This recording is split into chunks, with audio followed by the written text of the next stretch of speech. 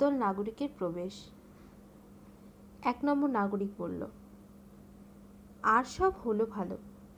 কিন্তু কামারের ছেলে বিভূতিকে রাজা একেবারে ক্ষত্রিয় করে নিলে, সেটা তো দুই নম্বর নাগরিক বলল, ওসব হলো ঘরের কথা। সে আমাদের গায়ে ফিরে গিয়ে বুঝে পড়ে নেব। এখন বলো যন্ত্ররাজ বিভূতির জয় তিন নম্বর নাগরিক ক্ষত্রিয়ের অস্ত্রে বৈশ্যের যন্ত্রে যে মিলিয়েছে জয়, সেই যন্ত্ররাজ বিভূতির জয়। এক নম্বর নাগরিক। ও ভাই, ওই যে দেখি শিবতরায়ের মানুষ। দুই নম্বর নাগরিক। কি করে বুঝলি? এক নম্বর নাগরিক। কান ঢাকা টুপি দেখছিস নে? কীরকম অদ্ভুত দেখতে। যেন উপর থেকে থাবড়া মেরে হঠাৎ কেউ ওদের বার বন্ধ করে দিয়েছে। দুই নম্বর নাগরিক। আচ্ছা এত দেশ থাকতে ওরা কান ঢাকা টুপি পরে কেন? ওরা কি ভাবে? কানটা বিধাতার মতিভ্রম? এক নম্বর নাগরিক। কানের উপর বাদ বেঁধেছে, বুদ্ধি পাছে বেরিয়ে যায়, সকলের হাস্য। তিন নম্বর তাই? না। ভুলক্রমে বুদ্ধি পাছে ভিতরে ঢুকে পড়ে হাস্য। এক নম্বর নাগরিক, পাছে উত্তরকূটের কানমলার ভূত ওদের কান দুটোকে পেয়ে বসে? ওরে শিবতরায়ের ওজবুকের দল, সাড়া নেই, শব্দ নেই, হয়েছে কি রে? তিন নম্বর নাগরিক জানিস নে আজ আমাদের বড় দিন বল, যন্ত্ররাজ বিভূতির জয়। এক নম্বর নাগরিক চুপ করে রইলি যে? গলা বুঝে গেছে? টুটি চেপে না ধরলে আওয়াজ বেরোবে না বুঝি? বল, যন্ত্র আজ বিভূতির জয়। গণেশ, কেন বিভূতির জয়? কি করেছে সে? এক নম্বর নাগরিক, বলে কি? কি করেছে? এত বড় খবরটা এখনও পৌঁছয়নি? কান ঠাকা টুপির গুণ দেখলি তো? তিন নম্বর নাগরিক তোদের পিপাসার জল যে তার হাতে, সে দয়া না করলে অনাবৃষ্টির ব্যাঙগুলোর মতো শুকিয়ে মরে যাবি। শিবতরাইয়ের দুই নম্বর নাগরিক বলল, পিপাসার জল বিভূতির হাতে? হঠাৎ সে দেবতা হয়ে উঠলে নাকি? উত্তরকূটের দুই নম্বর নাগরিক বলল, দেবতাকে ছুটি দিয়ে দেবতার কাজ নিজেই চালিয়ে নেবে। শিবতরাইয়ের এক নম্বর নাগরিক বলল দেবতার কাজ, তার একটা নমুনা দেখি তো। উত্তরকূটের এক নম্বর নাগরিক বলল, ওই যে, মুক্তধারার বাঁধ, শিবতরাইয়ের সকলের উচ্চ হাস্য। উত্তরকূটের তিন নম্বর নাগরিক বলল, এটা কি তোরা ঠাট্টা ঠাউরেছিস? গণেশ বলল, ঠাট্টা নয়, মুক্তধারা বাঁধবে। ভৈরব সহস্তে যা দিয়েছেন তোমাদের কামারের ছেলে তাই কাটবে? উত্তরকূটের এক নম্বর নাগরিক বলল, স্বচক্ষে দেখ না ওই আকাশে? শিবতরাইয়ের এক নম্বর নাগরিক বলল, বাপ রে, ওটা কি রে? শিবতরাইয়ের দুই নম্বর নাগরিক বলল, যেন মস্ত একটা লোহার ফড়িং আকাশে লাফ মারতে যাচ্ছে। উত্তরকোটের এক নম্বর নাগরিক বলল ওই ফড়িংয়ের ঠ্যাং দিয়ে তোমাদের জল আটকেছে। গণেশ বলল, রেখে দাও সব বাজে কথা। কোন দিন বলবে ওই ফড়িংয়ের ডানায় বসে তোমাদের কামারের পো চাঁদ ধরতে বেরিয়েছে? উত্তরকূটে এক নম্বর নাগরিক বলল, ওই দেখো কান ঢাকার গুণ, ওরা শুনেও শুনবে না, তাই তো মরে। শিবতরাইয়ের এক নম্বর নাগরিক বলল, আমরা মরেও মরবো না, পণ করেছি। উত্তরকূটের তিন নম্বর নাগরিক বলল, বেশ করেছ। বাঁচাবে কে? গণেশ বলল, আমাদের দেবতাকে দেখনি, প্রত্যক্ষ দেবতা। আমাদের ধনঞ্জয় ঠাকুর, তার একটা দেহ মন্দিরে, আরেকটা দেহ বাইরে। উত্তরকোটের তিন নম্বর নাগরিক বলল, কান ঠাকারা বলে কি? ওদের মরণ কেউ ঠেকাতে পারবে না? উত্তরকূটের দলের প্রস্থান এবার ধনঞ্জয়ের প্রবেশ। ধনঞ্জয় বলল, কি বলছিলি রে বোকা? আমারই উপর তোদের বাঁচবার ভার? তাহলে তো সাতবার মরে ভূত হয়ে রয়েছিস। গণেশ বলল, উত্তরকূটের ওরা আমাদের শাসিয়ে গেল যে, বিভূতি মুক্তধারার বাঁধ বেঁধেছে। ধনঞ্জয়, বাঁধ বেঁধেছে বললে? গণেশ হ্যাঁ ঠাকুর। ধনঞ্জয় বলল সব কথাটা শুনলি না বুঝি? গণেশ বলল, ও কি শোনবার কথা? হেসে উড়িয়ে দিল। ধনঞ্জয় বলল, তোদের সব কানগুলো একা আমারই জিম্মায় রেখেছিস? তোদের সবার শোনা আমাকেই শুনতে হবে? শিবতরায়ের তিন নম্বর নাগরিক বলল, ওর মধ্যে শোনবার আছে কি ঠাকুর? ধনঞ্জয় বলল, বলিস কি রে, যে শক্তি দুরন্ত তাকে বেঁধে ফেলা কি কম কথা? তা সে অন্তরেই হোক আর বাইরেই হোক। গণেশ বলল, ঠাকুর, তাই বলে আমাদের পিপাসার জল আটকাবে? ধনঞ্জয়, সে হলো আরেক কথা। ওটা ভৈরব সইবেন না। তোরা বস, আমি সন্ধান নিয়ে আসি গে। জগৎটা বাণীময় রে। তার যে দিকটাতে শোনা বন্ধ করবি, সেই দিক থেকে মৃত্যুবান আসবে। শিবতরায় তিন নম্বর নাগরিক বলল, এ কি? ভীষণ যে। খবর কি? ভীষণ বলল, যুবরাজকে রাজা শিবতরাই থেকে ডেকে নিয়ে এসেছে। তাকে সেখানে আর রাখবে না। সকলে বলল, সে হবে না, কিছুতেই হবে না। ভীষণ বলল, কি করবি? সকলে বলল, ফিরিয়ে নিয়ে যাব। ভীষণ বলল, কি করে? সকলে বলল, জোর করে। ভীষণ বলল, রাজার সঙ্গে পারবি? সকলে বলল, রাজাকে মানি নে। এবার রণজিৎ এবং মন্ত্রীর প্রবেশ। রণজিৎ বলল, কাকে মানিস নে? সকলে বলল, প্রণাম। গণেশ বলল, তোমার কাছে দরবার করতে এসেছি। রণজিৎ বলল, কিসের দরবার? সকলে বলল, আমরা যুবরাজকে চাই। রণজিৎ বলল, বলিস কি? এক নম্বর নাগরিক বলল হ্যাঁ যুবরাজকে শিবতরাইয়ে নিয়ে যাব। রণজিৎ বলল, আর মনের আনন্দে খাজনা দেবার কথাটা ভুলে যাবি? সকলে বলল, অন্ন বিনে মরছি যে। রণজিৎ বলল, তোদের সর্দার কোথায়? দুই নম্বর নাগরিক গণেশকে দেখাইয়া বলল এই যে আমাদের গণেশ সর্দার। রণজিৎ বলল, ও নয়, তোদের বৈরাগী? গণেশ বলল, ওই আসছেন। এবার ধনঞ্জয়ের প্রবেশ। রণজিৎ বলল, তুমি এই সমস্ত প্রজাদের খেপিয়েছ? ধনঞ্জয় বলল খেপাই বই কি? নিজেও খেপি। গান, আমারে পাড়ায় পাড়ায় খেপিয়ে বেড়ায়, কোন খেপাসে ওরে আকাশ জুড়ে, মোহন সুরে, কি যে বাজায়, কোন বাতাসে? গেল রে গেল বেলা, পাগলের কেমন খেলা? ডেকে সে আকুল করে, দেয় না ধরা। তারে কানন গিরি খুঁজে ফিরি, কেঁদে মরি কোন হুতাশে? রণজিৎ বলল, পাগলামি করে কথা চাপা দিতে পারবে না। খাজনা দেবে কি না বলো? ধনঞ্জয় বলল না মহারাজ, দেব না। রণজিৎ বলল, দেবে না? এত বড় আস্পর্ধা? ধনঞ্জয় বলল, যা তোমার নয়, তা তোমাকে দিতে পারব না। রণজিৎ বলল, আমার নয়? ধনঞ্জয়, আমার উদ্বৃত্ত অন্ন তোমার, ক্ষুধার অন্ন তোমার নয়। রণজিৎ বলল, তুমি প্রজাদের বারণ করো খাজনা দিতে? ধনঞ্জয় বলল, ওরা তো ভয় দিয়ে ফেলতে চায়। আমি বারণ করে বলি, প্রাণ দিবি তাকেই প্রাণ দিয়েছেন যিনি। রণজিৎ বলল, তোমার ভরসা চাপা দিয়ে ওদের ভয়টাকে ঢেকে রাখছো বই তো নয়।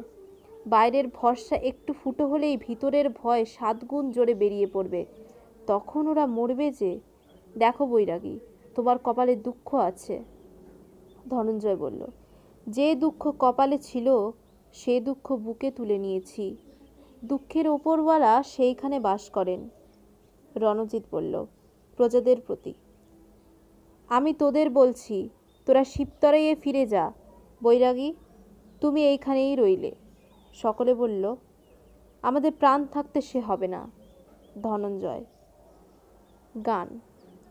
রইলে বলে, রাখলে কারে? হুকুম তোমার ফলবে কবে? টানাটানি টিকবে না ভাই, রবার যেটা সেটাই রবে। রাজা টেনে কিছুই রাখতে পারবে না। সহজে রাখবার শক্তি যদি থাকে, তবেই রাখা চলবে। এবার রণজিৎ বলল মানে কি হলো? ধনঞ্জয় বলল, যিনি সব দেন, তিনিই সব রাখেন। লোভ করে যে রাখতে চাইবে, সে হলো চোরাই মাল। সে টিকবে না। যা খুশি তাই করতে পারো, গায়ের জোরে রাখো মারো। যার গায়ে তার ব্যথা বাজে তিনি যাসন সেটাই সবে। রাজা, ভুল করছ এই যে, ভাবছ জগৎটাকে কেড়ে নিলেই জগৎ তোমার হলো। ছেড়ে রাখলেই যাকে পাও মুঠোর মধ্যে, চাপতে গেলেই দেখবে সে ফসকে গেছে।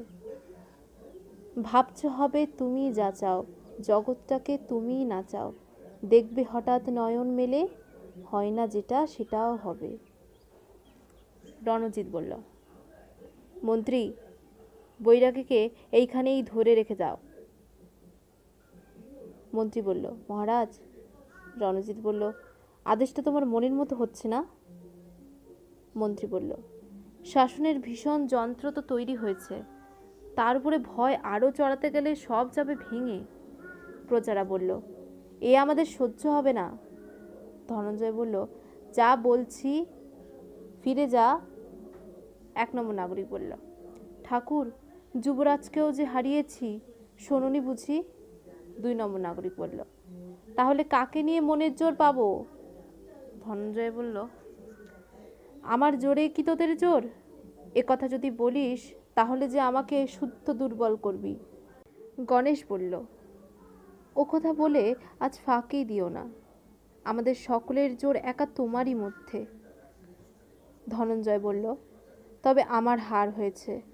আমাকে সরে দাঁড়াতে হলো। সকলে বলল, কেন ঠাকুর?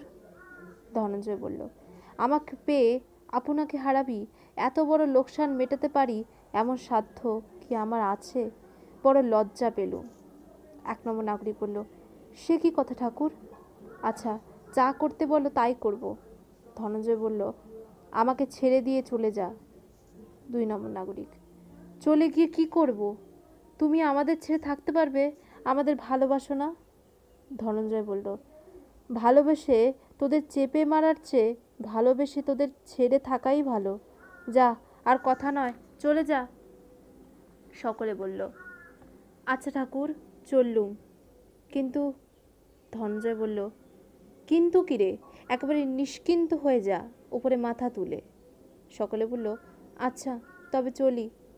ধনঞ্জয় বলল ওকে চলা বলে? জোরে। ধনঞ্জয় বলল চললুম কিন্তু আমাদের বল বুদ্ধি রইল এখানেই পড়ে। প্রস্থান। রণজিৎ বলল, কি বৈরাগী? চুপ করে রইলে যে? ধনঞ্জয় বলল, ভাবনা ধরিয়ে দিয়েছে রাজা। রণজিৎ বলল, কিসের ভাবনা? ধনঞ্জয় বলল, তোমার চণ্ডবালের দণ্ড লাগিয়েও যা করতে পারোনি আমি দেখছি তাই করে বসে আছি। এতদিন ঠাউরে ছিলুম, আমি ওদের বল বুদ্ধি বাড়াচ্ছি। আজ মুখের ওপর বলে গেল, আমি ওদের বল বুদ্ধি হরণ করেছি। রণজিৎ বলল, এমনটা হয় কি করে? ধনঞ্জয় বলল, ওদের যতই মাতিয়ে তুলেছি, ততই পাকিয়ে তোলা হয়নি আর কি। দেনা যাদের অনেক বাকি, শুধু কেবল দৌড় লাগিয়ে দিয়ে তাদের দেনা শোধ হয় না তো? ওরা ভাবে আমি বিধাতার চেয়ে বড়। তার কাছে ওরা যা ধারে, আমি যেন তা নামাঞ্জুর করে দিতে পারি। তাই চক্ষু বুঝে আমাকেই আঁকড়ে থাকে। রণজিৎ বলল, ওরা যে তোমাকেই দেবতা বলে জেনেছে? ধনঞ্জয় বলল, তাই আমাতেই এসে ঠেকে গেল। আসল দেবতা পর্যন্ত পৌঁছলো না। ভিতরে থেকে যিনি ওদের চালাতে পারতেন বাইরে থেকে আমি তাকে রেখেছি ঠোক ঠেকিয়ে। রণজিৎ বলল, রাজার খাজনা যখন ওরা দিতে আসে তখন বাধা দাও, আর দেবতার পুজো যখন তোমার পায়ের কাছে এসে পড়ে তখন তোমার বাজে না? ধনঞ্জয় বলল, ওরে বাপরে, বাজে না তো কি? দৌড় মেরে পালাতে পারলে বাঁচি। আমাকে পুজো দিয়ে ওরা অন্তরে অন্তরে দেউলে হতে চলল। সেদিন আর দায় যে আমারও ঘাড়ে পড়বে, দেবতা ছাড়বেন না। রণজিৎ বলল, এখন তোমার কর্তব্য? ধনঞ্জয় বলল, তফাতে থাকা। আমি যদি পাকা করে ওদের মনের বাদ বেঁধে থাকি, তাহলে তোমার বিভূতিকে আর আমার ভৈরব যেন একই সঙ্গে তারা লাগান। রণজিৎ বলল, তবে আর দেরি কেন? সরো না। ধনঞ্জয় বলল, আমি সরে দাঁড়ালেই ওরা একেবারে তোমার চণ্ডপালের ঘাড়ের উপর গিয়ে চড়াও হবে। তখন যে দণ্ড আমার পাও না, সেটা পড়বে ওদেরই মাথার খুলির উপরে। এই ভাবনায় সরতে পারি নে রণজিৎ বলল। নিজে সরতে না পারো, আমিই সরিয়ে দিচ্ছি। উদ্ধব, বৈরাগীকে এখন শিবিরে বন্দি করে রাখো। ধনঞ্জয় গান করল। তোর শিকল আমায় বিকল করবে না, তোর মারে মরম মরবে না। তার আপন হাতের ছাড় চিঠি সেই যে, আমার মনের ভিতরে রয়েছে এই যে। তোদের ধরা আমায় ধরবে না, যে পথ দিয়ে আমার চলাচল। তোর প্রহরী তার খোঁজ পাবে কি বল? আমি তার দুয়ারে পৌঁছে গেছি রে। মোরে তোর দুয়ারে ঠেকাবে কি রে?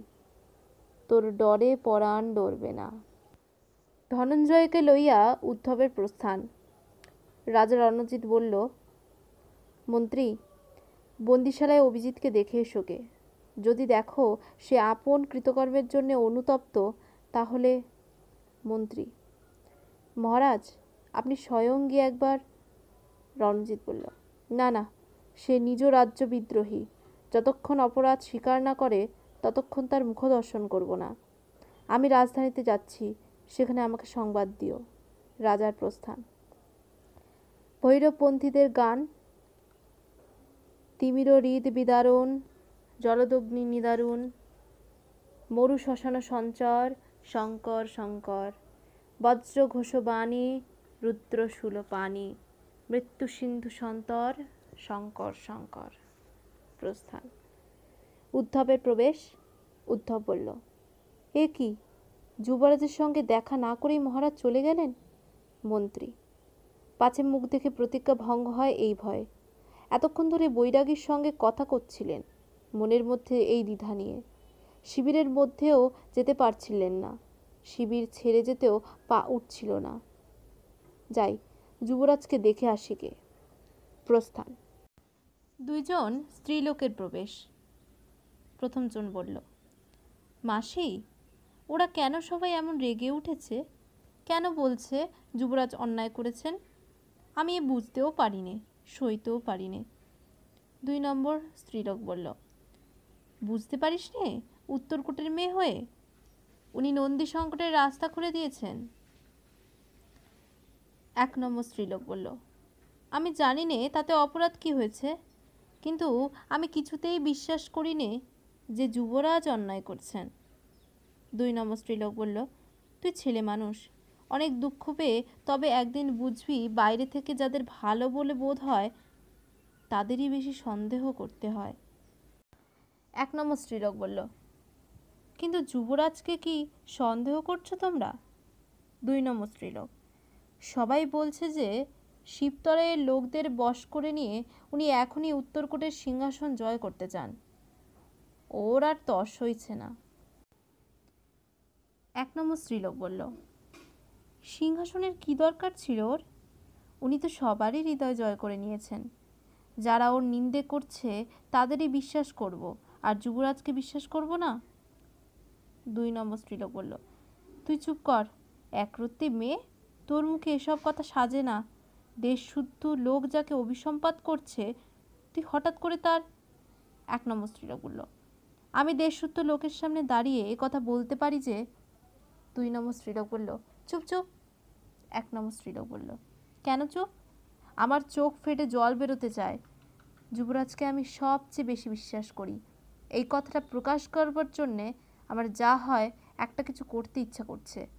আমার এই লম্বা চুল আমি আজ ভৈরবের কাছে মানত করব। বলব, বাবা, তুমি জানিয়ে দাও যে যুবরাজেরই জয়, যারা নিন্দুক তারা মিথ্যে। দুই নম্বর স্ত্রীরা বলল, চুপ চুপ চুপ। কোথা থেকে কে শুনতে পাবে? মেয়েটা বিপদ ঘটাবে দেখছি।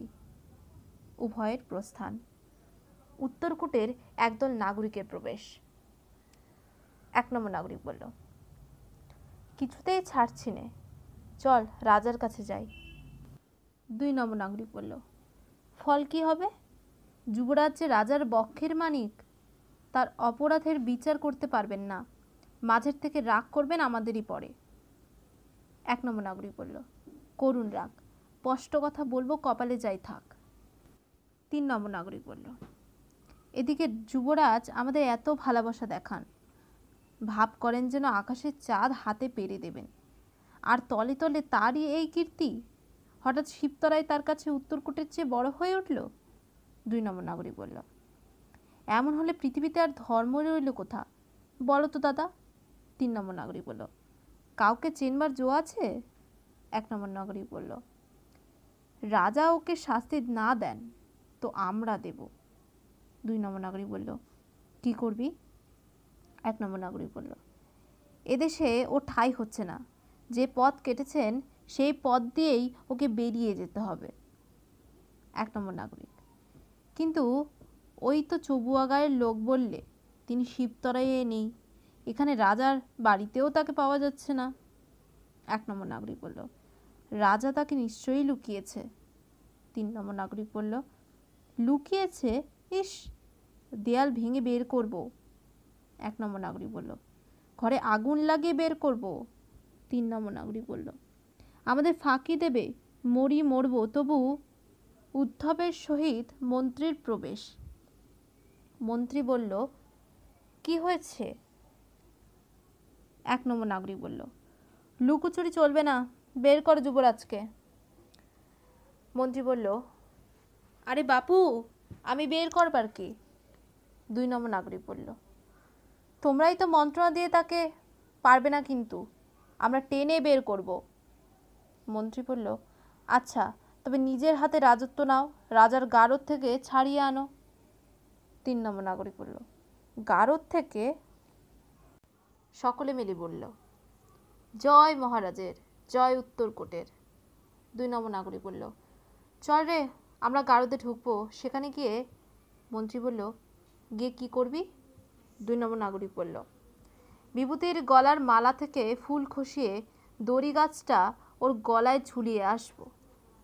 তিন নম্বর নাগরিক বলল, গলায় কেন? হাতে? বাদ বাঁধার সম্মানের উচ্ছিষ্ট দিয়ে পথ কাটার হাতে দড়ি পড়বে। মন্ত্রী বলল যুবরাজ পথ ভেঙেছেন বলে অপরাধ। আর তোমার ব্যবস্থা ভাঙবে তাতে অপরাধ নেই?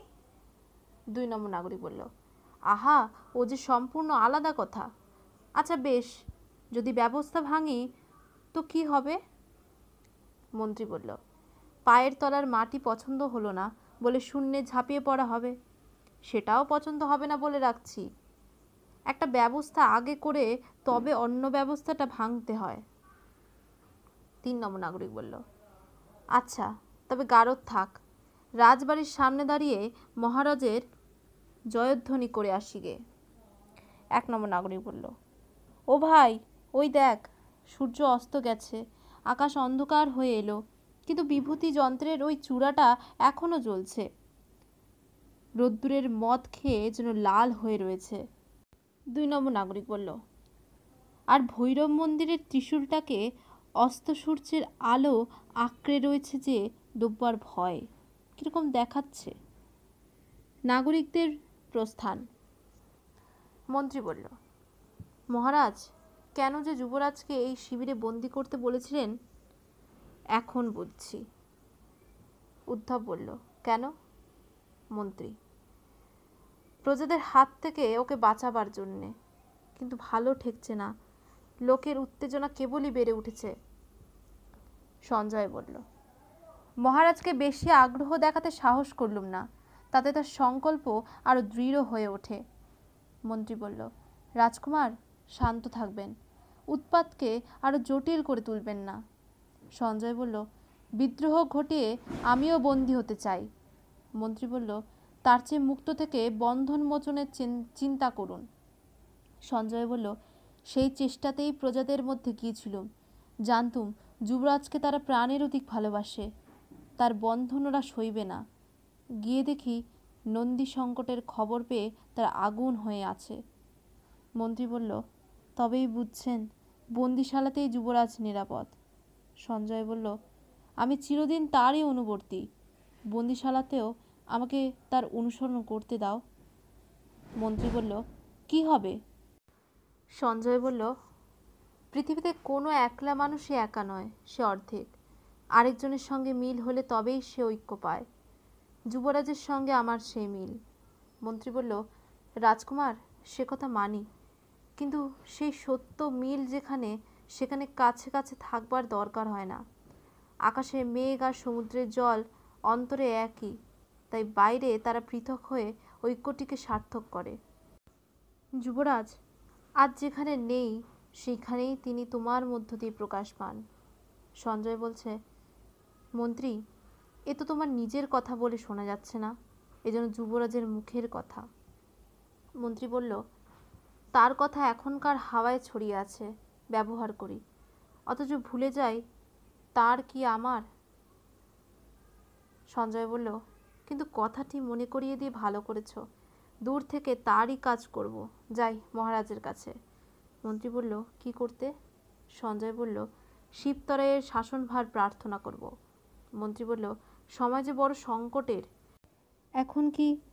সঞ্জয় বলল, সেই জন্যেই এই তো উপযুক্ত সময়। উভয়ের প্রস্থান। বিশ্বজিৎ, বিশ্বজিতের প্রবেশ? বিশ্বজিৎ বলল, ও কে ও?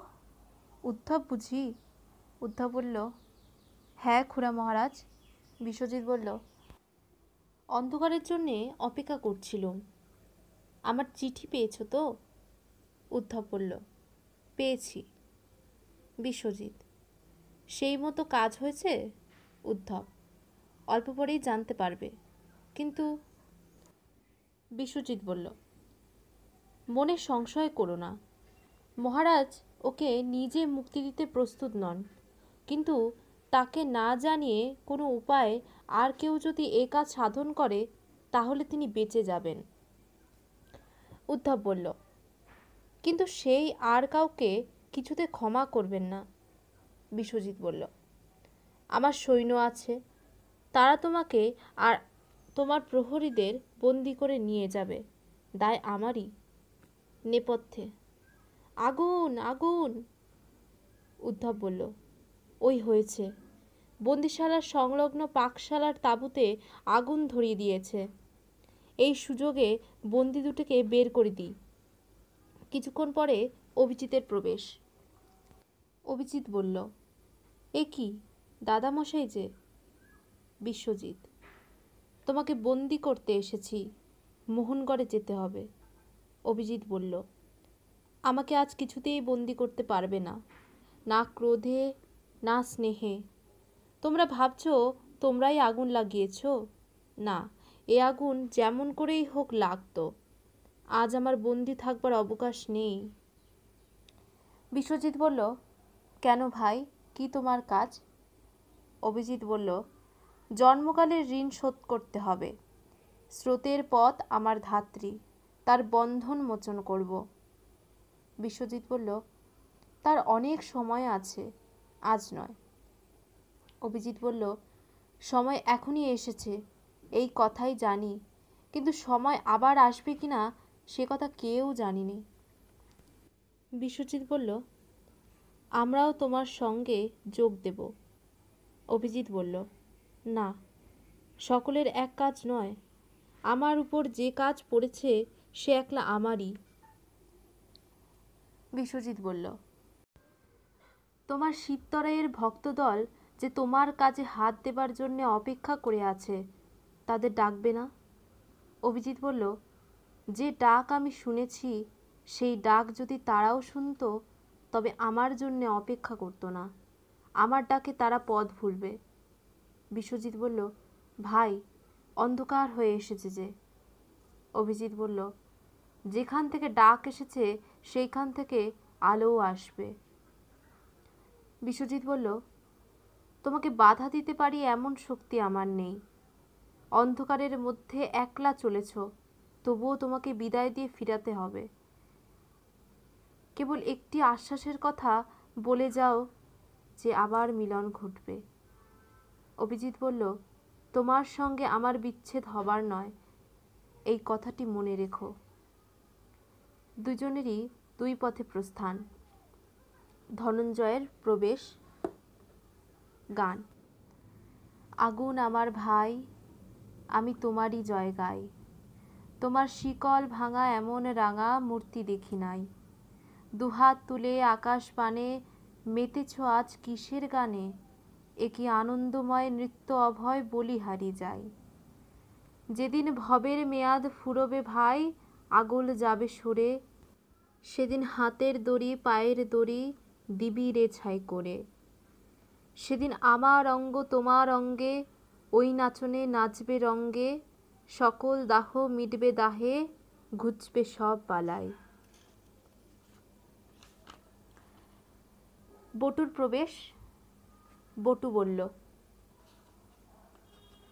ঠাকুর, দিন তো গেল, অন্ধকার হয়ে এলো। ধনঞ্জয় বলল, বাবা বাইরের আলোর উপর ভরসা রাখাই অভ্যাস। তাই অন্ধকার হলেই একেবারে অন্ধকার দেখি, বটু বলল। ভেবেছিলুম ভৈরবের নৃত্য আজই আরম্ভ হবে। কিন্তু যন্ত্র আজ কি তারও হাত পা যন্ত্র দিয়ে বেঁধে দিলে? ধনঞ্জয় বলল, ভৈরবের নৃত্য যখন সবে আরম্ভ হয়, তখন চোখে পড়ে না। যখন শেষ হবার পালা আসে তখন প্রকাশ হয়ে পড়ে। বটু বলল, ভরসা দাও, প্রভু, বড় ভয় ধরিয়েছে। জাগো জাগো ভৈরব, জাগো। আলো নিবেছে, পথ ডুবেছে, সাড়া পায়নি মৃত্যুঞ্জয়। ভয়কে মারো, ভয় লাগিয়ে। জাগো, ভৈরব, জাগো। প্রস্থান। এবার উত্তরকূটের নাগরিক দলের প্রবেশ। প্রথম নাগরিক বলল, মিথ্যে কথা। রাজধানীর গারদে সে নেই? ওকে লুকিয়ে রেখেছে। দুই নম্বর নাগরিক বলল, দেখব কোথায় লুকিয়ে রাখে। ধনঞ্জয় বলল, না বাবা, কোথাও পারবে না লুকিয়ে রাখতে। পড়বে দেয়াল, ভাঙবে দরজা, আলো ছুটে বের হয়ে আসবে, সমস্ত প্রকাশ হয়ে পড়বে। এক নম্বর নাগরিক বলল, এ আবার কে রে? বুকের ভিতরটায় হঠাৎ চমকিয়ে দিলে। তিন নম্বর নাগরিক বলল, তা বেশ হয়েছে। একজন কাউকে চাই। তা এই বৈরাগীটাকেই ধর, ওকে বাঁধ। ধনঞ্জয় বলল, যে মানুষ ধরা দিয়ে বসে আছে, তাকে ধরবে কি রে? এক নম্বর নাগরিক বলল, সাধগিরি রাখো, আমরা ওসব মানি নে ধনঞ্জয় বলল, না মানাই তো ভালো। প্রভু স্বয়ং হাতে ধরে তোমাদের মানিয়ে নেবেন। তোমরা ভাগ্যবান। আমি যেসব অভাগাদের জানি, তারা কেবল মেনে মেনেই গুরুকে খেয়ালে, খোয়ালে। আমাকে শুদ্ধ তারা মানার তারা দেশ ছাড়া করেছে। এক নম্বর নাগরিক বলল, তাদের গুরুকে, ধনঞ্জয় বলল, যার হাতে তারা মার খায়? এক নম্বর নাগরিক বলল তাহলে তোমার উপর গুরুগিরি আমরাই শুরু করি না কেন? ধনঞ্জয় বলল, রাজি আছি বাবা। দেখিনি ঠিকমতো পাঠ দিতে পারি কি না। পরীক্ষা হোক। দুই নম্বর নাগরিক বলল, সন্দেহ হচ্ছে? তুমি আমাদের যুবরাজকে নিয়ে কিছু চালাকি করেছ। ধনঞ্জয় বলছে, তোমাদের যুবরাজ আমাদের চেয়েও চালাক। তার চালাকি আমাদের নিয়ে। দুই নম্বর নাগরিক বলল দেখলি তো? কথাটার মানে আছে। দুজনে একটা কি ফন্দি চলছে। এক নম্বর নাগরিক বলল, নইলে এত রাত্রে এখানে ঘুরে বেড়ায় কেন? যুবরাজকে শিবতরে সরাবার চেষ্টা। এইখানেই ওকে বেঁধে রেখে যায় তারপরে যুবরাজের সন্ধান পেলে ওর সঙ্গে বোঝাপড়া করব। ওহে কুন্দন, বাঁধো না। দড়ি গাছটা তো তোমার কাছে আছে। কুন্দন বলল এই নাও না দড়ি, তুমিই বাঁধো। দুই নম্বর নাগরিক বলল, ওরে, তোরা কি উত্তরকূটের মানুষ? দে আমাকে দে। বাঁধিতে বাঁধিতে, কেমন হে গুরু কি বলছেন? এবার ধনঞ্জয় বলল, কোষে চেপে ধরেছেন, সহজে ছাড়ছেন না। ভৈরবপন্থীর প্রবেশ, গান। তিমির হৃদ বিদারণ, জলদগ্নি নিদারুণ মরু শ্মশান সঞ্চর, শঙ্কর শঙ্কর, বজ্র ঘোষ পানি রুদ্রশূল পানি মৃত্যু সিন্ধু সন্তর, শঙ্কর শঙ্কর। প্রস্থান। কুন্দন বলল, ওই দেখো চেয়ে গধূরের আলো যতই নিভে আসছে, আমাদের যন্ত্রের চূড়াটা ততই কালো হয়ে উঠছে। এক নম্বর নাগরিক বলল, দিনের বেলায় ও সূর্যের সঙ্গে পালা দিয়ে এসেছে। অন্ধকারে ও রাত্রিবেলাকার কালোর সঙ্গে টক্কর দিতে লেগেছে। ওকে ভূতের মতো দেখাচ্ছে। কুন্দন বলল, বিভূতি, তার কীর্তিটাকে এমন করে গড়ল কেন ভাই? উত্তরকূটের যেদিকেই ফিরি, ওর দিকে না তাকিয়ে থাকবার জো নেই।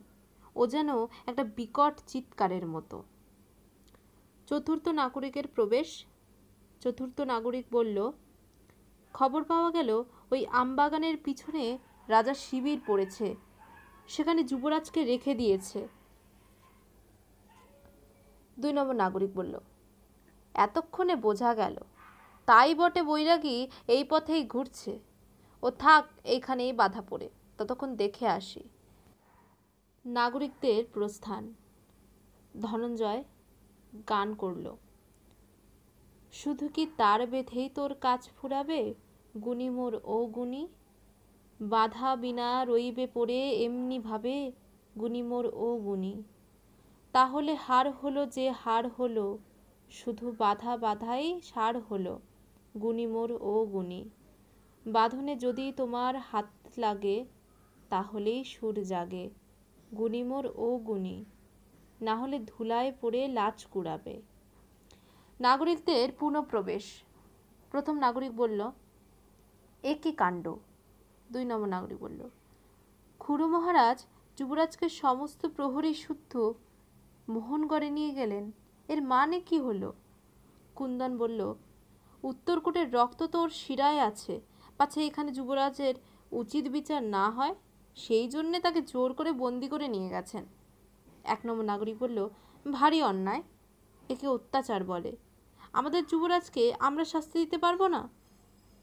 দুই নম্বর নাগরিক বলল, এর উচিত বিধান বিধান হচ্ছে বুঝলে দাদা এক নম্বর নাগরিক বলল হ্যাঁ হ্যাঁ ওদের সেই সোনার খনিটি। কুন্দন বলল, আর জানিস তো ভাই, ওর গোষ্ঠে কিছু না হবে তো পঁচিশ হাজার গরু আছে। এক নম্বর নাগরিক বলল, তার সবকটি গুনে নিয়ে তবে কি অন্যায়, অসহ্য অন্যায়? তিন নম্বর নাগরিক বলল আর ওদের সেই জাফরানের ক্ষেত, তার থেকে অন্ততপক্ষে বৎসরে দুই নম্বর নাগরিক বলল হ্যাঁ হ্যাঁ সেটা দিতে হবে ওকে দণ্ড। কিন্তু এখন ওই বৈরাগীরকে নিয়ে কি করা যায়? এক নম্বর নাগরিক বলল ও এইখানেই থাক না পড়ে। নাগরিকদের প্রস্থান, ধনঞ্জয়ের গান। ফেলে রাখলে কি পড়ে রবে ও অবোধ? যে তার দাম জানে, সে কুড়িয়ে লবে ও অবোধ। ও যে কোন রতন তা দেখ না ভারী, ওর পরে কি ধুলোয় দাবি, ধুলোর দাবি? ও হারিয়ে গেলে তারই গলার হার গাথা চেয়ে ব্যর্থ হবে। ওর খোঁজ পড়েছে, জানিস নেতা, তাই দুধ বেরোলো হেতা সেথা। যারে করিলি হেতা সবাই মিলি, আদর জেতার বাড়িয়ে দিলি। যারে দরদ দিলি তার ব্যথা কি, সেই দরদির প্রাণে সবে? কুন্দনের পুনঃপ্রবেশ কুন্দন বলল, ঠাকুর, তোমার বাঁধনটা খুলে দিই। অপরাধ নিও না, তুমি এখনই বাড়ি পালাও। কি জানি আজ রাত্রে? ধনঞ্জয় বলল, কি জানি আজ রাত্রে যদি ডাক পড়ে, সেই জন্যই তো বাড়ি পালাবার জো নেই। কুন্দন বলল, এখানে তোমার ডাক কোথায়? ধনঞ্জয় বলল, উৎসবের শেষ পালাটায়। কুন্দন বলল, তুমি শিবতরায়ের মানুষ হয়ে উত্তরকোটের? ধনঞ্জয় বলল ভৈরবের উৎসবে এখন শিবতরের আরতি কেবল বাকি আছে। নেপথ্যে। জাগো ভৈরব, জাগো। কুন্দন বলল, আমার ভালো বোধ হচ্ছে না। চললেম উভয়ের প্রস্থান। উত্তরকোটের দুইজন রাজদূতের প্রবেশ। এক নম্বর নাগরিক বলল, এখন কোন দিকে যায় নওশানুতে যারা ছাগল চড়ায়, তারা তো বললে তারা দেখেছে যুবরাজ একলা এই পথ দিয়ে পশ্চিমের দিকে গেছেন। দুই নম্বর নাগরিক বলল, আজ রাত্রে তাকে খুঁজে বের করতেই হবে, মহারাজের হুকুম। এক নম্বর নাগরিক বলল, মোহনগড়ে তাকে নিয়ে গেছে বলে কথা উঠেছে, কিন্তু অম্বা পাগলির কথা শুনে স্পষ্ট বোধ হচ্ছে সে যাকে দেখেছে সে আমাদের যুবরাজ, আর তিনি এই পথ দিয়েই উঠেছেন। দুই নম্বর নাগরিক বলল কিন্তু এই অন্ধকারে তিনি একলা কোথায় যে যাবেন বোঝা যাচ্ছে না। এক নম্বর নাগরিক বলল, আলো না হলে আমরা তো এক পা এগোতে পারব না। কোটপালের কাছ থেকে আলো সংগ্রহ করে আনিগে উভয়ের প্রস্থান একজন প্রতীকের প্রবেশ। প্রতীক বলল, চিৎকার করিয়া, ওরে বুধন, শম্ভু, বিপদে ফেললে, আমাকে এগিয়ে দিলে। বললে, চড়াই পথ বেয়ে সোজা এসে আমাকে ধরবে। কারও দেখা নেই। অন্ধকারে ওই কালো যন্ত্রটা ইশারা করছে। ভয় লাগিয়ে দিলে। কে আসে? কে হে? জবাব দাও না কেন? বুধন নাকি? দুই নম্বর পথিক পথিক। আমি নিমকু বাতিওয়ালা। রাজধানীতে সমস্ত রাত আলো জ্বলবে। বাতির দরকার? তুমি কে? এক নম্বর পথিক বলল, আমি হুব্বা, যাত্রার দলের গান করি। পথের মধ্যে দেখতে পেলে কি আন্দু অধিকারীর দল? নিমকু বলল, অনেক মানুষ আসছে, কাকে চিনব? হুব্বা বলল, অনেক মানুষের মধ্যে তাকে ধরো না। আমাদের আন্দু, সে একেবারে আস্ত একখানি মানুষ। ভিড়ের মধ্যে তাকে খুঁটে বের করতে হয় না, সবাইকে ঠেলে দেখা দেয়। দাদা তোমার ওই ঝুড়িটার মধ্যে বোধ করি বাতি অনেকগুলো আছে। এখানে দাও না। ঘরের লোকের চেয়ে রাস্তার লোকের আলোর দরকার বেশি। নিমকু বলল, দাম কত দেবে? হুব্বা বলল, দামই যদি দিতে পারতুম, তবে তো তোমার সঙ্গে হোক, হেঁকে কথা কইতুম। মিঠে সুর বের করব কেন? নিমকু বলল, রসিক বট হে। নিমকুর প্রস্থান। হুব্বা বললে, বাতে দিলে না কিন্তু রসিক বলে চিনে নিলে। সেটা কম কথা নয়। রসিকের গুণ এই, ঘোর অন্ধকারেও তাকে চেনা যায়। উহ, ঝিঝির ডাকে আকাশটার গাছ ঝমঝম ঝিমঝিম করছে। না, বাতিওয়ালার সঙ্গে রসিকতা না করে ডাকাতি করলে কাজে লাগা, লাগতো। পথিক, হেই ও, হুব্বা বাবা রে চমকিয়ে দাও কেন? পথিক, এখন চলো, হুব্বা বলল। চলবো বলেই তো বেরিয়েছিল। দলের লোককে ছাড়িয়ে চলতে গিয়ে কীরকম অচল হয়ে পড়তে হয়, সেই তত্ত্বটা মনে মনে হজম করবার চেষ্টা করছি। পথিক বলল, দলের লোক তৈরি আছে, এখন তুমি গিয়ে জুটলেই হবে। হুব্বা বলল, কথাটা কি বললে? আমরা তিন মোহনার লোক। আমাদের এক বদ অভ্যেস আছে। স্পষ্ট কথা না হলে বুঝতেই পারি নে দলের লোক বলছো কাকে? পথিক বলল আমি চবুয়া গায়ের লোক। স্পষ্ট বোঝবার, বোঝাবার বদ অভ্যেসে হাত পাকিয়েছি ধাক্কা দিয়ে। এবার বুঝলে তো? হুব্বা বলল, ওহ, বুঝেছি। ওর সোজা মানে হচ্ছে আমাকে চলতেই হবে, মর্জি থাক আর না থাক। কোথায় চলবো? এবার একটু মোলায়েম করে জবাব দিও। তোমার আলাপের প্রথম ধাক্কাতেই আমার বুদ্ধি পরিষ্কার হয়ে এসেছে। পথিক বললে, শিবতরাইয়ে যেতে হবে। হুব্বা বলল শিবতরাইয়ে এই অমাবস্যার রাত্রে সেখানে পালাটা কিসের? পথিক বলল, নন্দী সংকটের ভাঙা গড় ফিরে গাঁথবার পালা। হুব্বা বলল, ভাঙা গড় আমাকে দিয়ে গাথা গাঁথাবে দাদা, অন্ধকারে আমার চেহারাটা দেখতে পাচ্ছ না বলেই এত বড় শক্ত কথাটা বললে। আমি হচ্ছি পথিক বললে, তুমি যেই হও না কেন? দোকানে হাত তো আছে হুবা বলল নেহাত না থাকলে নয় বলেই আছে। নইলে একে একে কি? পথিক বলে, হাতের পরিচয় মুখের কথায় নয়, যথাস্থানেই হবে। এখন ওঠো। দ্বিতীয় পথিকের প্রবেশ। দ্বিতীয় পথিক বলল, ওই আরেকজন লোককে পেয়েছি, কঙ্কর। কঙ্কর বলল, লোকটা কে? তিন নম্বর পথিক বলল, আমি কেউ না বাবা, আমি লক্ষ্মণ। উত্তর ভৈরবের মন্দিরে ঘণ্টা বাজাই। কঙ্কর বলল, সে তো ভালো কথা।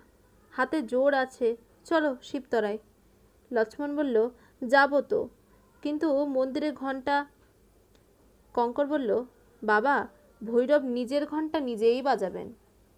লক্ষ্মণ বলল, দোহাই তোমাদের, আমার স্ত্রী রোগে ভুগছে। কঙ্কর বলল, তুমি চলে গেলে তার রোগ হয়, সারবে, নয় সে মরবে। তুমি থাকলেও ঠিক তাই হতো। হুব্বা বলল ভাই লক্ষ্মণ চুপ করে মেনে যাও। কাজটাতে বিপদ আছে বটে, কিন্তু আপত্তিতেও বিপদ কম নেই। আমি একটু আভাস পেয়েছি। কঙ্কর বলল, ওই যে নরসিংহের গলা শোনা যাচ্ছে। কি নরসিংহ? খবর ভালো তো? কয়েকজন লোককে লইয়া নরসিংহের প্রবেশ। নরসিংহ বলল, এই দেখো, দল জুটিয়ে এনেছি। আরও কয় দল আগেও, আগেই রওনা হয়েছে। কঙ্কর বলল, তাহলে চলো, পথের মধ্যে আরও কিছু কিছু জুটবে। দলের একজন বলল, আমি যাব না। কঙ্কর বলল, কেন যাবে না? কি হয়েছে? উক্ত ব্যক্তি বলল, কিছুই হয়নি, আমি যাব না। কঙ্কর বলল, লোকটার নাম কি নরসিংহ? নরসিংহ বলল, ওর নাম বনোয়ারি। পদ্মবীজের মালা তৈরি করে। কঙ্কর বলল আচ্ছা ওর সঙ্গে একটু বোঝাপড়া করে নিই। কেন যাবে না বলো তো? বনোয়ারি বলল, প্রবৃত্তি নেই। শিবতরের লোকের সঙ্গে আমার ঝগড়া নেই, ওরা আমাদের শত্রু নয়। কঙ্কর বলল আচ্ছা না হয় আমারই, আমরাই ওদের শত্রু হলুম তারও তো একটা কর্তব্য আছে। বনোয়ারি বলল, আমি অন্যায় করতে পারব না। কঙ্কর বলল, ন্যায় অন্যায় ভাববার স্বাতন্ত্র্য যেখানে সেখানেই অন্যায় হচ্ছে অন্যায়। উত্তরকোট বিরাট তার অংশরূপে যে কাজ তোমার দ্বারা হবে, তার কোনো দায়িত্বই তোমার নেই। বনোয়ারি বলল, উত্তরকূটকে ছাড়িয়ে থাকেন এমন বিরাটও আছেন। উত্তরকূটও তার তেমন অংশ শিবতরাইও তেমনি। কঙ্কর বলল, ওহে নরসিংহ, লোকটা তর্ক করে যে দেশের পক্ষে ওরা বাড়া, অপবাদ আর নেই। নরসিংহ বলল, শক্ত কাজে লাগিয়ে দিলেই তর্ক ঝাড়াই হয়ে যায়। তাই ওকে টেনে নিয়ে চলেছি। বনোয়ারি বলল, তাতে তোমাদের ভার হয়ে থাকব, কোনো কাজে লাগবো না। কঙ্কর বলল, উত্তরকূটের ভার তুমি, তোমাকে বর্জন করবার উপায় খুঁজছি। হুব্বা বলল বনোয়ারি খুঁড়ো, তুমি বিচার করে সব কথা বুঝতে চাও বলেই যারা বিনা বিচারে বুঝিয়ে থাকে, তাদের সঙ্গে তোমার এত ঠোকাঠুকি বাঁধে। হয় তাদের প্রণালীটা কায়দা করে নাও, নয় নিজের প্রণালীটা ছেড়ে ঠান্ডা হয়ে বসে থাকো। বনোয়ারি বলল, তোমার প্রণালীটা কি? হুবা বলল, হুব্বা বলল, আমি গান গাই। সেটা এখানে খাটবে না বলেই সুর বের করছি নে, নইলে এতক্ষণে তান লাগিয়ে দিত কঙ্কর বলল বনোয়ারির প্রতি, এখন তোমার অভিপ্রায় কি? বনোয়ারি বলল, এক পা নড়ব না। কঙ্কর বলল, তাহলে আমরাই তোমাকে নড়াবো। বাঁধো ওকে। হুব্বা বলল, একটা কথা বলি কঙ্কর দাদা, রাগ করো না। ওকে বই নিয়ে যেতে যে জোরটা খরচ করবে, সেইটে বাঁচাতে পারলে কাজে লাগতো। কঙ্কর বলল, উত্তরকূটের সেবায় যারা অনিচ্ছুক, তাদের দমন করা একটা কাজ। সময় থাকতে এই কথাটা বুঝে দেখো। হুব্বা বলল, এরই মধ্যে বুঝে নিয়েছি। এবার নরসিংহ ও কঙ্কর ছাড়া আর সকলের প্রস্থান। নরসিংহ বলল ওই যে বিভূতি আসছে। যন্ত্র আজ বিভূতির জয়। বিভূতির প্রবেশ, কঙ্কর বলল, কাজ অনেকটা এগিয়েছে। লোকও কম জোটেনি। কিন্তু তুমি এখানে কেন? তোমাকে নিয়ে সবাই যে উৎসব করবে। বিভূতি বলল, উৎসবে আমার শখ নেই। নরসিংহ বলল, কেন বলো তো? বিভূতি বলল, আমার কীর্তি খর্ব করবার জন্যেই নন্দী সংকটের গড় ভাঙার খবর ঠিক এসে পৌঁছল। আমার সঙ্গে একটা প্রতিযোগিতা চলছে। কঙ্কর বলল, কার প্রতিযোগিতা, যন্ত্ররাজ? বিভূতি বলল, নাম করতে চাইনে সবাই জানো। উত্তরকোটে তার বেশি আদর হবে। না, আমার। এই হয়ে দাঁড়াল সমস্যা। একটা কথা তোমাদের জানা নেই, এর মধ্যে আমার কাছে কোনো পক্ষ থেকে দূত এসেছিল আমার মন ভাঙতে। আমার মুক্তধারার বাদ ভাঙবে এমন শাসন বাক্যেরও আভাস দিয়ে গেল। নরসিংহ বলল, এত বড় কথা? কঙ্কর বলল, তুমি সহ্য করলে বিভূতি? বিভূতি বলল, প্রলাপ বাক্যের প্রতিবাদ চলে না। কঙ্কর বলল, কিন্তু বিভূতি, এত বেশি নিঃসংশয় হওয়াও কি ভালো? তুমিই তো বলেছিলে বাঁধের বন্ধন দুই এক জায়গায় আলগা আছে। তার সন্ধান জানলে, অল্প একটুখানিতেই বিভূতি বলল, সন্ধান যে জানবে, সে এও জানবে যে সেই ছিদ্র খুলতে গেলে তার রক্ষা নেই। বন্যায় তখনই ভাসিয়ে নিয়ে যাবে। নরসিংহ বলল, পাহারা রাখলে ভালো করতে না? বিভূতি বলল সেই ছিদ্রের কাছে জম স্বয়ং পাহারা দিচ্ছেন। বাঁধের জন্যে কিছুমাত্র আশঙ্কা নেই। আপাতত ওই নন্দীশঙ্করের পথটা আটকে দিতে পারলে আমার আর কোনো ক্ষেত থাকে না। কঙ্কর বলল, তোমার পক্ষে এ তো কঠিন নয়। বিভূতি বলল, না, আমার যন্ত্র প্রস্তুত আছে। মুশকিল এই যে, ওই গিরিপথটা সংকীর্ণ। অনায়াসেই অল্প কয়েকজনেই বাধা দিতে পারে। নরসিংহ বলল, বাধা কত দেবে? মরতে মরতে গেথে তুলব। বিভূতি বলব, বলল মরবার লোক বিস্তর চাই। কঙ্কর বলল, মারবার লোক থাকলে মরবার লোকের অভাব ঘটে না নেপথ্যে। জাগো, ভৈরব, জাগো। এবার ধনঞ্জয়ের প্রবেশ। কঙ্কর বলল, ওই দেখো, যাবার মুখে অযাত্রা। বিভূতি বলল, বৈরাগী, তোমাদের মতো সাধুরা ভৈরবকে এ পর্যন্ত জাগাতে পারলে না। আর যাকে পাষণ্ড বলো সেই আমি ভৈরবকে জাগাতে চলেছি। ধনঞ্জয় বলল, সে কথা মানি, জাগাবার ভার তোমার, তোমাদের উপরই।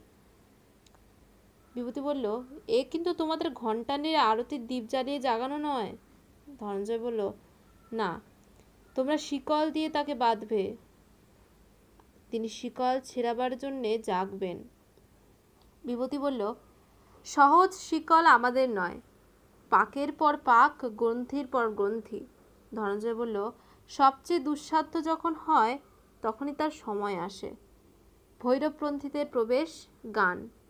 জয় ভৈরব, জয় শঙ্কর, জয় জয় জয় প্রলয়ঙ্কর, জয় সংশয় ভেদন, জয় বন্ধন ছেদন, জয় সংকট সংহার, শঙ্কর শঙ্কর প্রস্থান। রাজা রণজিৎ ও মন্ত্রীর প্রবেশ। মন্ত্রী, মহারাজ শিবিরে, শিবির একবারে শূন্য। অনেকখানি পুড়েছে। অল্প কয়েকজন প্রহরী ছিল, তারা তো, রণজিৎ বলল, তারা যেইখানেই থাক না, অভিজিৎ কোথায় জানা যায়? কঙ্কর বলল, মহারাজ, যুবরাজের শাস্তি আমরা দাবি করি। রণজিৎ বলল, শাস্তির যে যোগ্য, তার শাস্তি দিতে আমি কি তোমাদের অপেক্ষা করে থাকি? কঙ্কর বলল তাকে খুঁজে না পেয়ে লোকের মনে সংশয় উপস্থিত হয়েছে। রণজিৎ বলল, কি সংশয়? কার সম্বন্ধে? কঙ্কর বলল, ক্ষমা করবেন মহারাজ, প্রজাদের মনের ভাব আপনার জানা চাই। যুবরাজকে খুঁজে পেতে যতই বিলম্ব হচ্ছে, ততই তাদের অধৈর্য এত বেড়ে উঠেছে যে, যখন তাকে পাওয়া যাবে, তখন তারা শাস্তির জন্য মহারাজের অপেক্ষা করবেন না।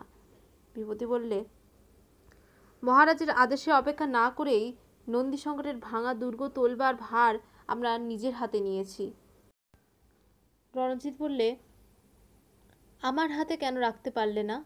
বিভূতি বললে, যেটা আপনারই বংশের অপকীর্তি, তাতে আপনারও গোপন সম্মতি আছে। এরকম সন্দেহ হওয়া মানুষের পক্ষে স্বাভাবিক।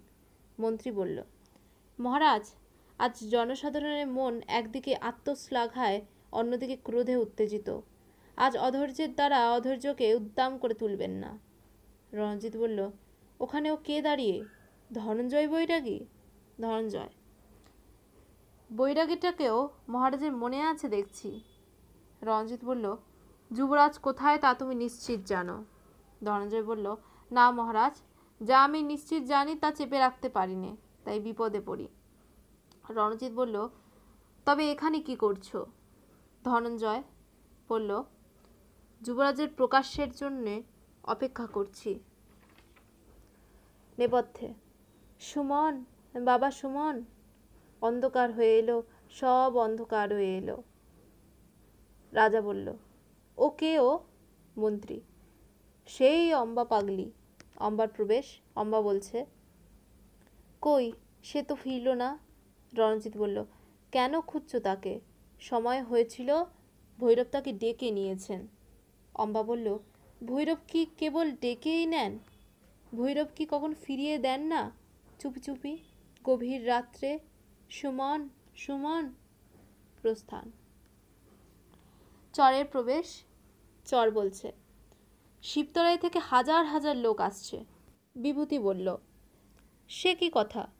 আমরা হঠাৎ গিয়ে তাদের নিরস্ত করব, এই তো ঠিক ছিল। নিশ্চয়ই তোমাদের কোনো বিশ্বাসঘাতক তাদের খবর দিয়েছে। কঙ্কর, তোমরা কয়েকজন ছাড়া ভিতরের কথা কেউ তো জানে না।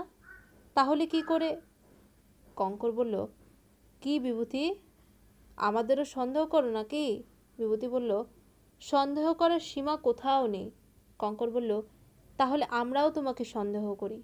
বিভূতি বলল, সে অধিকার তোমাদের আছে।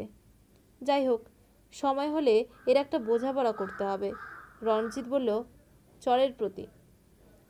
তারা কি অভিপ্রায় এখানে আসছে? তুমি জানো? চর বলল, তারা শুনেছে যুবরাজ বন্দী হয়েছেন, তাই পণ করেছে তাকে খুঁজে বের করবে।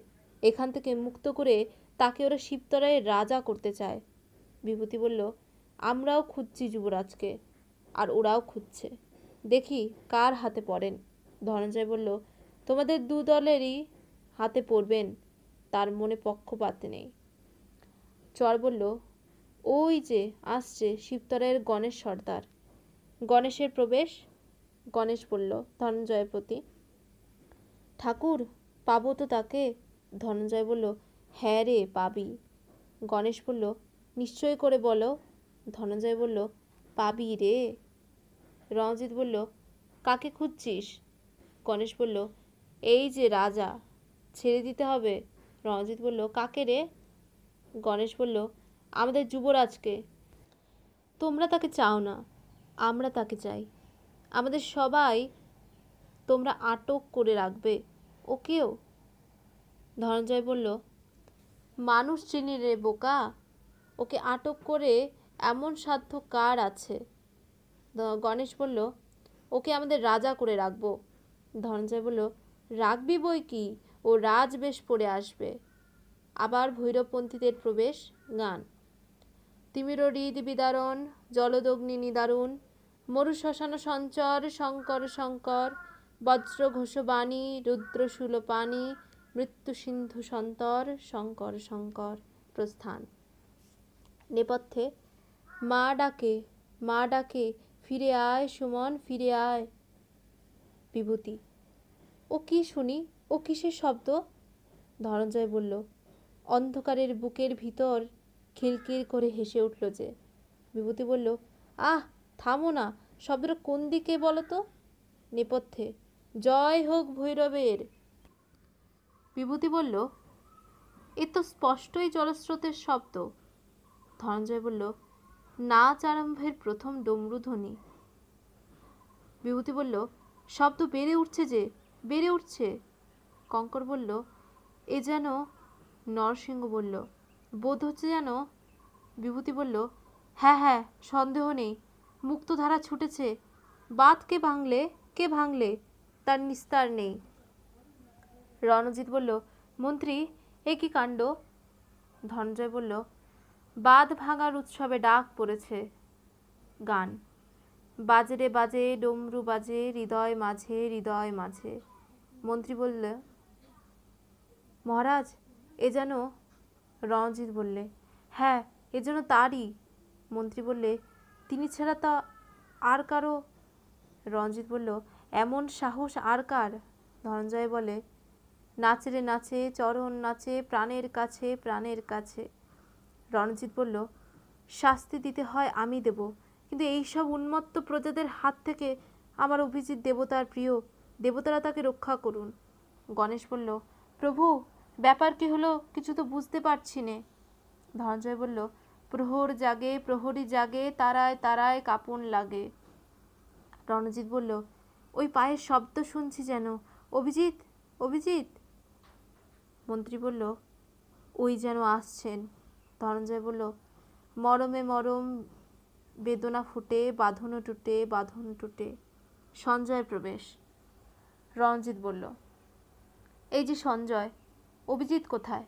সঞ্জয় বলল মুক্তধারার স্রোত তাকে নিয়ে গেল, আমরা তাকে পেলুম না।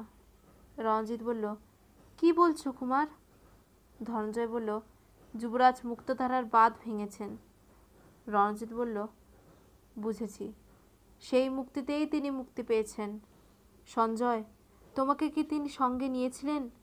সঞ্জয় বলল, না, কিন্তু আমি মনে বুঝেছিলাম তিনি ওইখানেই যাবেন। আমি গিয়ে অন্ধকারে তার জন্য অপেক্ষা করছিলাম, কিন্তু ওই পর্যন্ত বাধা দিলেন। আমাকে শেষ পর্যন্ত যেতে দিলেন না।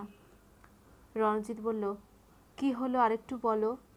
সঞ্জয় বলল, ওই বাঁধের একটা ত্রুটির সন্ধান কি করে তিনি জেনেছিলেন? সেইখানেই যন্ত্রাসুরকে তিনি আঘাত করলেন। যন্ত্রাসুর তাকে সে আঘাত ফিরিয়ে দিলে। তখন মুক্তধারা তার সেই আহত দেহকে মায়ের কোলে তুলে মায়ের মতো কোলে তুলে নিয়ে চলে গেল। গণেশ বলল, যুবরাজকে আমরা যে খুঁজতে বেরিয়েছিলাম, তাহলে তাকে কি আর পাবো না? ধনঞ্জয় বলল, চিরকালের মতো পেয়ে গেলি। ভৈরবপন্থীদের প্রবেশ, গান। জয় ভৈরব, জয় শঙ্কর, জয় জয় জয় প্রলয়ঙ্কর, জয় সংশয় ভেদন, জয় বন্ধন ছেদন, জয় সংকট সংহার সংসর শঙ্কর শঙ্কর। তিমির হৃদ বিদারণ জলদগ্নি নিদারুণ, মরুশ্মশান সঞ্চর, শঙ্কর শঙ্কর। বজ্র ঘোষবাণী, রুদ্র পানি মৃত্যু সিন্ধু সন্তর, শঙ্কর শঙ্কর।